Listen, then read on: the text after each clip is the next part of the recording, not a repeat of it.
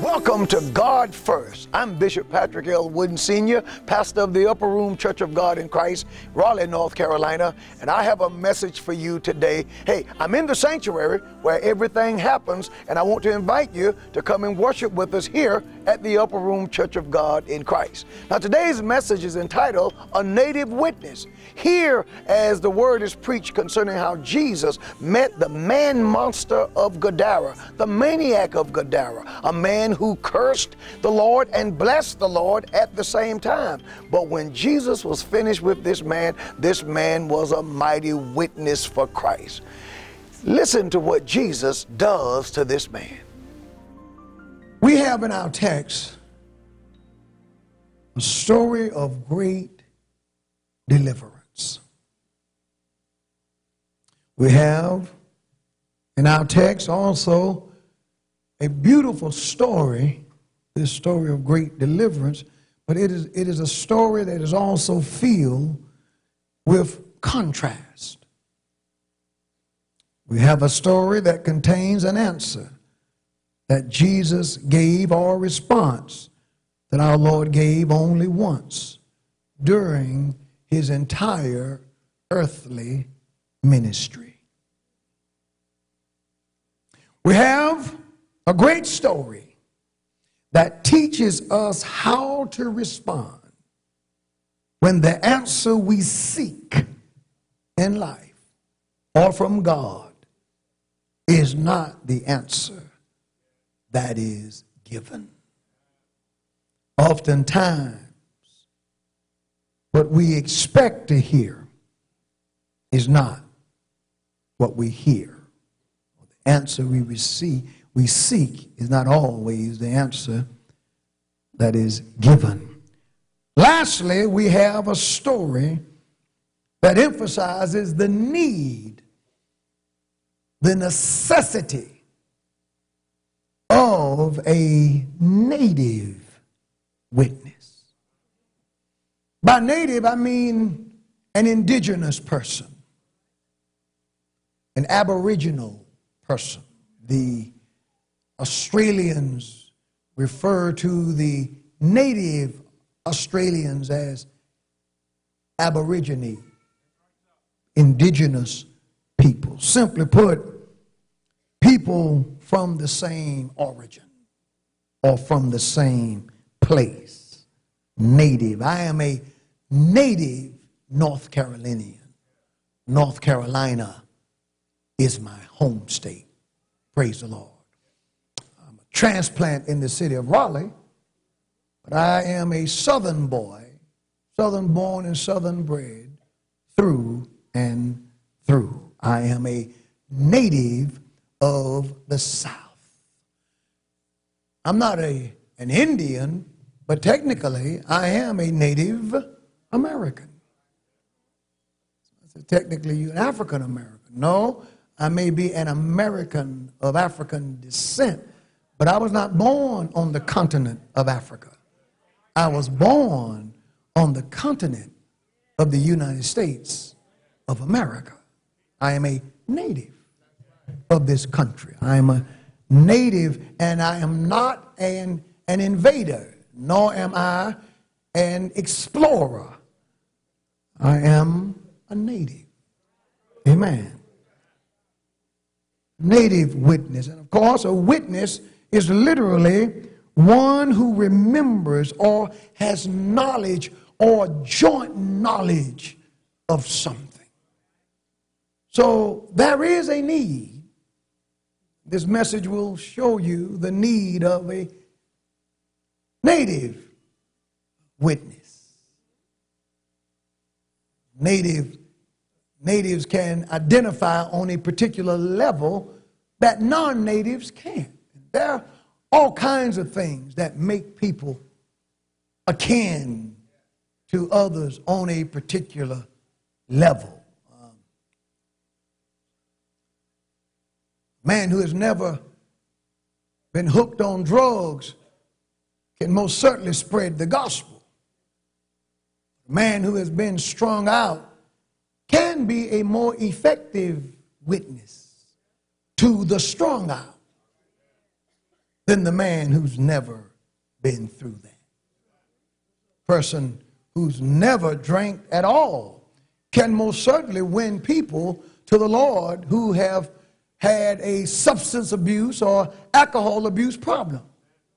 But a ex-drinker can be much more effective than a person who has never uh, been drunk or had a drink because they are to some degree akin. They are native. We talk to you about a native witness. Our text contains a, an amazing power. It demonstrates an amazing power of deliverance.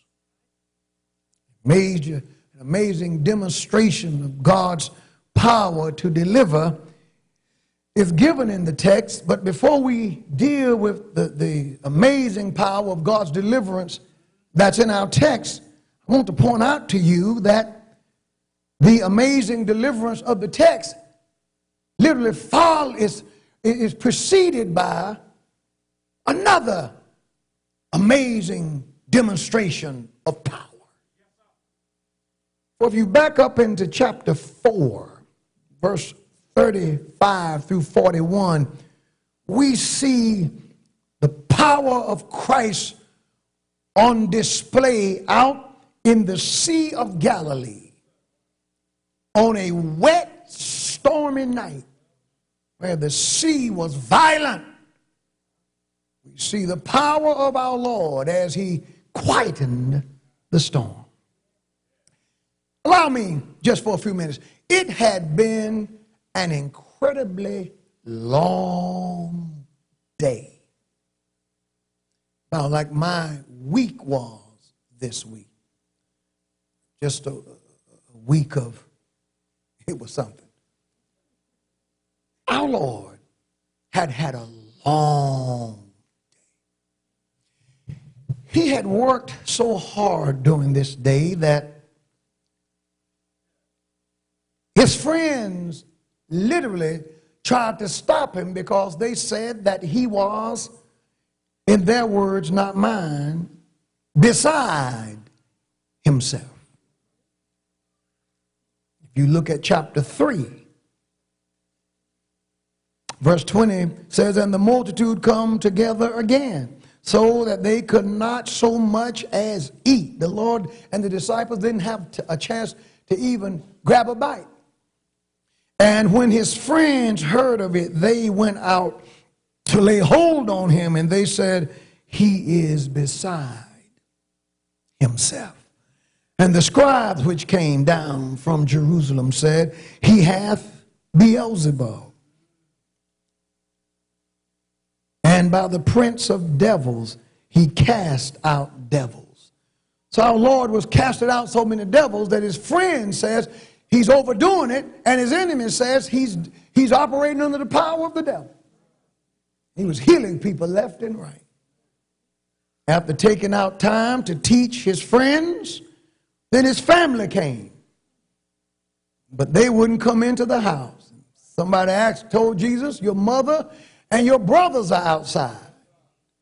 And he looked them in, at them in verse 33 of chapter 3 and says, uh, Who is my mother? All my brethren.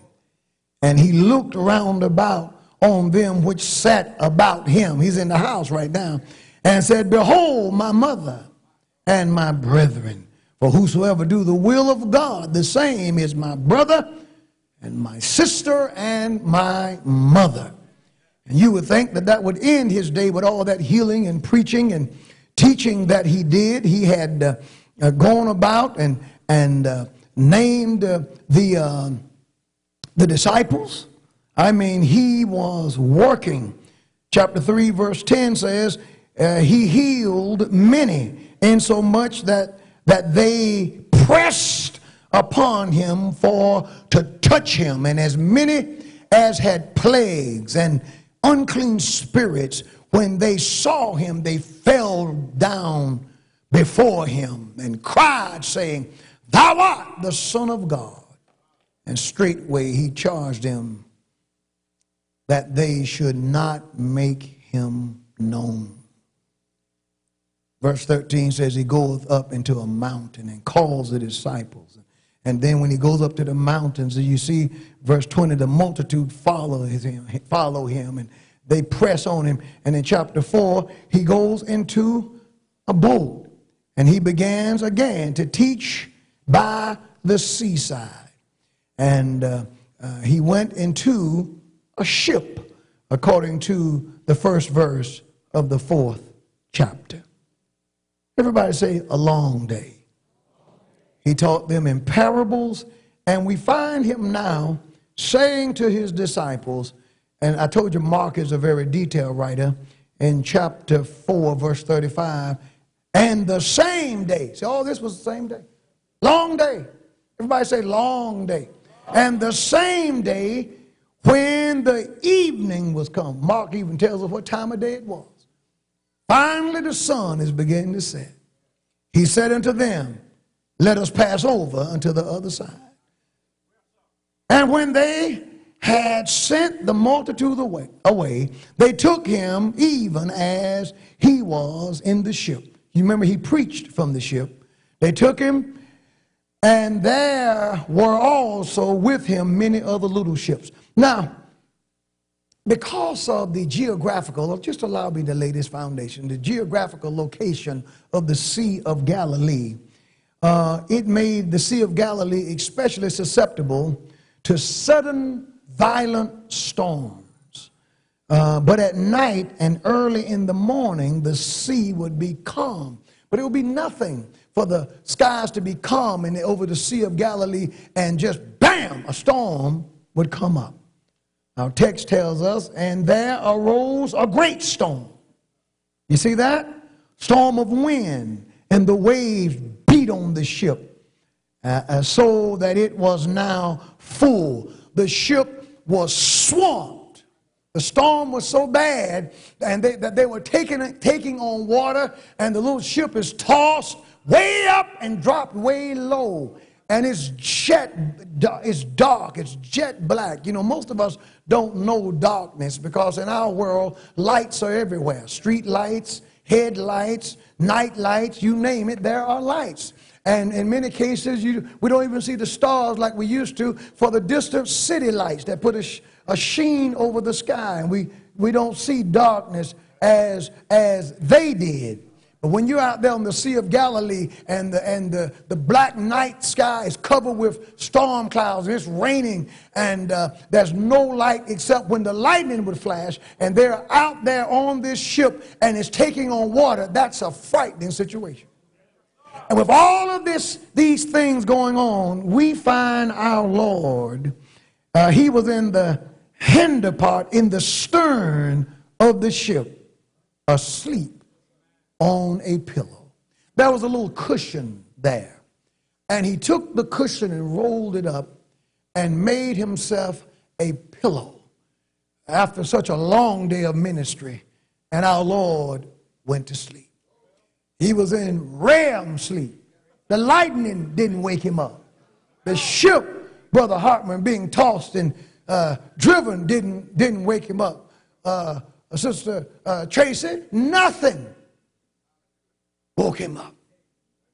God bless you, Sister Sandra. Good to see you back. Amen. Smith, we thank the Lord for you. The Lord has laid hands on you. We're believing God for you. He's asleep. Lightning flashing, thunder roaring.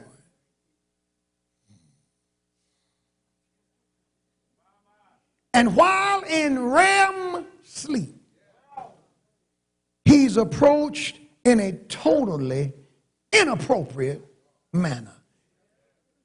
Be careful when you get scared and get desperate. You still ought to remain appropriate. Uh, it was inappropriate for our Lord to have been spoken to and awakened from his sleep the way that he was. And had they really known who he was and who he is, they would, all, they would have also known that they were not in as much danger as they appeared to be in. Because if you're in a situation and the Lord Jesus is on your side, everything can be going wrong. But if Jesus is fast asleep and he's not worried, that ought to tell you that it's already done. That something has already been taken care of. So they speak to him uh, as he's asleep on a pillow. I'm going to preach in a moment. And the Bible says, and they awake him, not just one, several of them. They awake him, saying unto him, Master, carest thou not that we perish? It's inappropriate.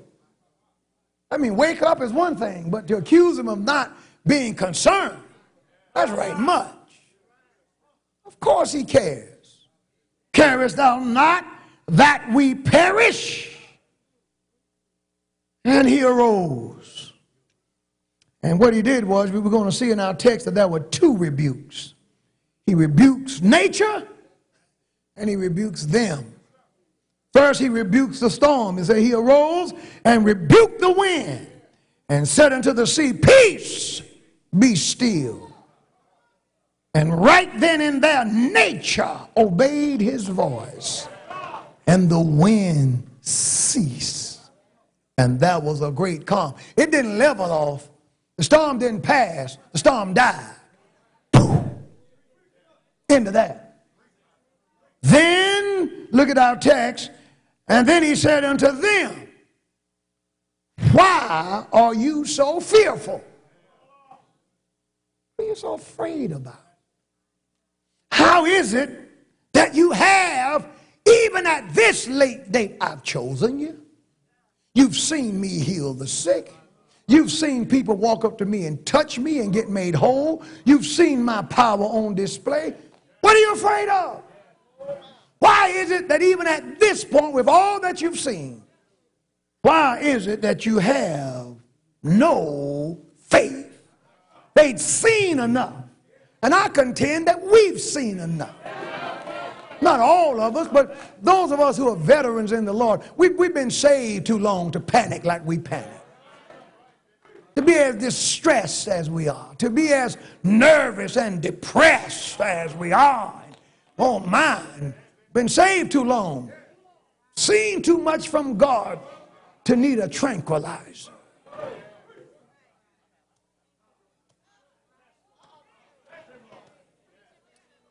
Bible said, and they feared exceedingly.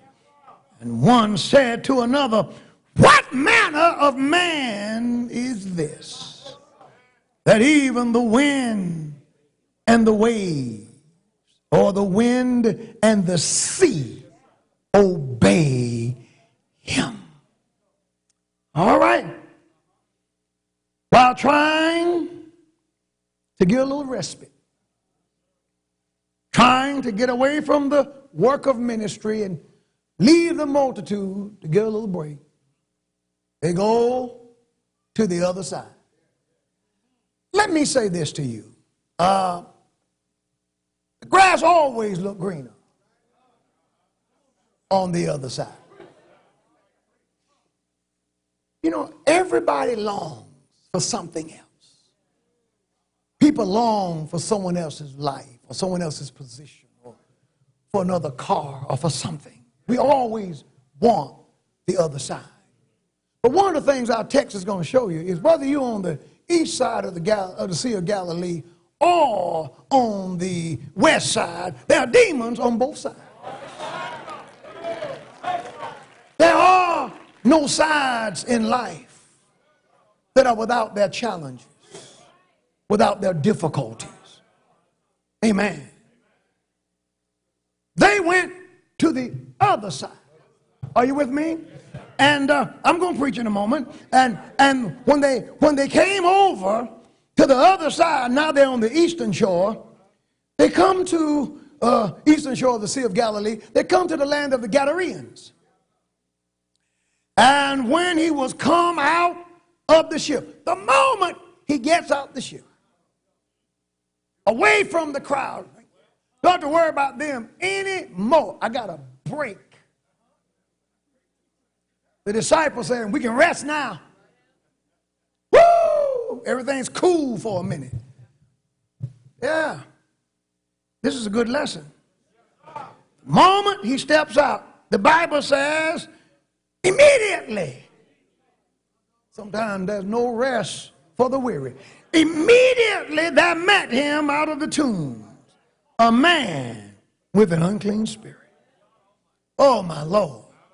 We've just seen nature out of control in the wind. Now we're about to see nature out of control in a man. And uh, uh, that, were, that were demons. You, you don't like my preaching today. That, that were devils on both sides. Amen. Remember, he cast them out. Chapter 3, verse 22. He casting out devils on the west side only to meet the devil on the east side. Oh, you might well stay with your husband. You may well stay with your wife.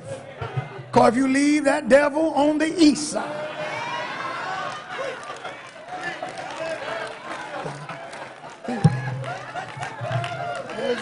you know, everybody has challenges. No one or no situation is perfect. Amen. Sometimes when we try to improve ourselves, we make matters worse. So we find nature, uh, uh, the devil on the uh, west side, and then the devil got in the journey to the east side, and then when they get to the east side, there's the devil again.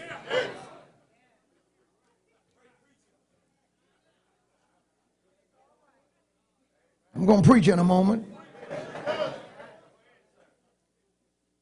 This man,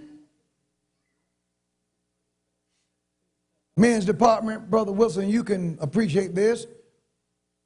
Brother Williams, this man was more monster than man because he was out of control. Devil can make you more monster than human. Pedophile is a monster. mess with somebody's child. You more monster than humans. Something wrong with that. Amen. Look at this monster man. Bible says this about this monster man said he had his dwelling among the tombs and no man could bind him no not with chains i told you mark's a detail Right. He could have just left no man could bind him. But he adds, not even chains, Sister Smith could bind him. Isn't that something? Then he says this. He says, because, let me tell you why. I, I know this. And this had to be encouraging because when, when Mark wrote his book, he wrote his book to the persecuted believers at Rome. And, and, and when they received his letter, it had to encourage them when they hear about how their Lord could quieten the storm and how their Lord, whom they were being persecuted for, could cast out devils, and how their Lord could handle things. He said, because he had often been bound with fetters and chains.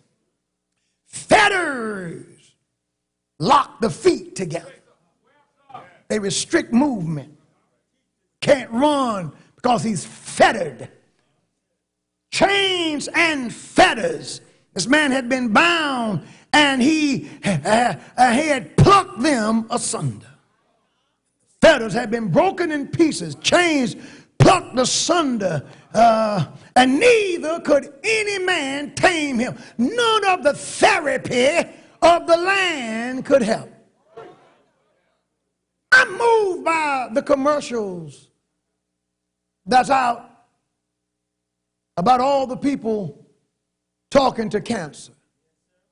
But they tell cancer, you take the weak, you take the strong, you don't discriminate, but we're going to beat you. We're going to beat you with laughter. We're going to beat you with therapy. We're going to beat you with medicines. They're not going to beat cancer with that because they leave out something. You, got to put prayer. If, if you're going to win, you, oh my, somebody's got to pray. Otherwise, these chains and fetters, these methods won't work. Preach wouldn't. They tried to bind this maniac, this monster man, but they couldn't. And then the text says, and always, night and day, he was in the mountains and in the tombs, crying and cutting himself with stones. But when he saw Jesus, you know he saw Jesus before Jesus saw him.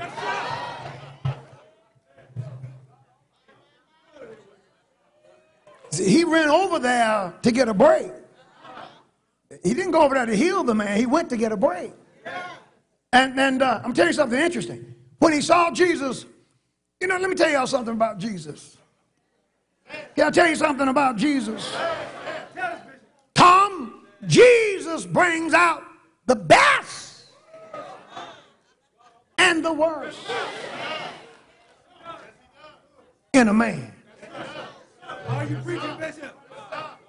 Jesus makes everything surface. That's why sometimes in a good Holy Ghost service, demons get cast out. Folk had the devil in them for a long time, but they just hadn't been in an anointed service where the anointing was strong enough to cause that devil to manifest.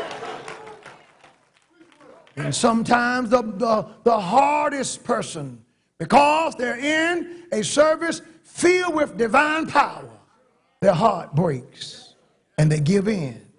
We find a man whose mind was so torn by the devil that he both worshiped and cursed at the same time. It's amazing what Jesus Christ can do for a man or woman who will submit to his love and allow Jesus Christ to come in. Well, we're out of time for today. I pray that you were blessed by the word of the Lord. I want to invite you to join me here at the Upper Room Church of God in Christ in the sanctuary. The only thing that's missing is you. I want you to keep God first, and we look forward to seeing you.